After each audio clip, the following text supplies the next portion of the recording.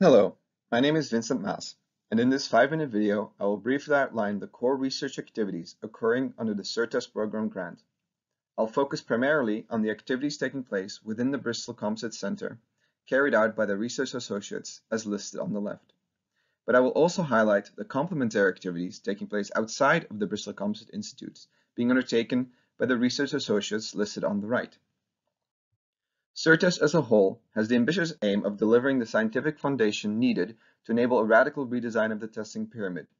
The scientific developments CerTest is working on will enable significant reductions in time and costs of the certification of aerospace structures, which will also make it more viable to certify novel and fuel-saving technologies. To achieve this, activities within CerTest are focused on developing the capabilities of two main techniques. The first is big data analysis, which will be used to leverage historical datasets to allow large reductions in the required amount of lower-level coupon and detail-level tests at the bottom of the testing pyramid. At the top of the pyramid, CerTest activities are working to develop digital twin technologies, allowing each physical component to be matched with a numerical copy. This will allow greater insight into the full structural performance while requiring fewer tests. The historical data will also be used to feed digital twin, to ensure it is an accurate representation of the real part. To deliver these technological advancements, CerTest has identified four main research challenges, whose main research activities I will now highlight.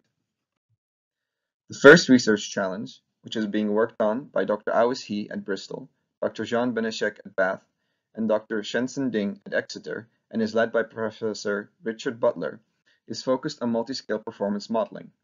In order to have a digital twin that can accurately capture the onset and progression of damage, the model must capture various mesoscopic effects, such as listed on the left. This is best handled using solid element models. However, a full-scale solid model would be computationally infeasible. For this reason, at Bristol we are working on a multi-scale framework coupling mesoscale solid elements with a shell element model at the macro scale, creating significant computational savings.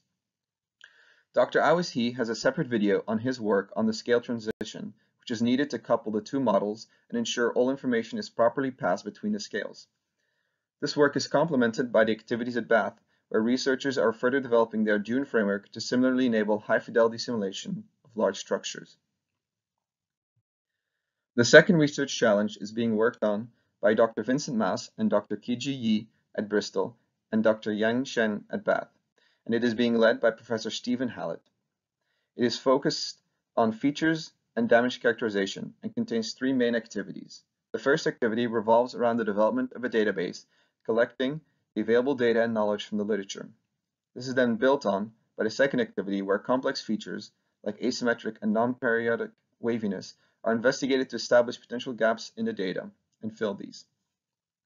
The final activity under the second research challenge is then focused on the development of non-destructive testing, or NDT, techniques.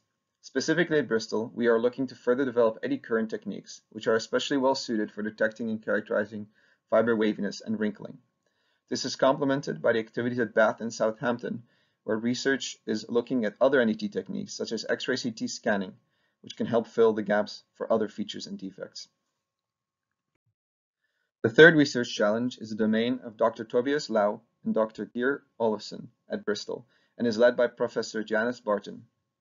Both activities are geared towards facilitating certification of composite structures by generating high-fidelity experimental data for structural characterization and model validation. The first activity is to develop a hybrid testing methodology which enables us to conduct physical substructure tests under realistic loading conditions, being informed by a numerical model of the remaining structure. This is then combined with the development of combined full field measurements to enable us to match the stress and strain fields provided by the numerical model for the experimental substructure. As part of this, various imaging techniques, including thermoelastic stress analysis and digital image correlation, are being investigated. The final research challenge is on the integration of methodology validation. These activities are being carried out by our partners at Bath, Southampton, and Exeter, specifically by Dr. Carl Scarth and Dr. Sinan Xiao, both at Bath, and are led by Professor Ole Thomsen.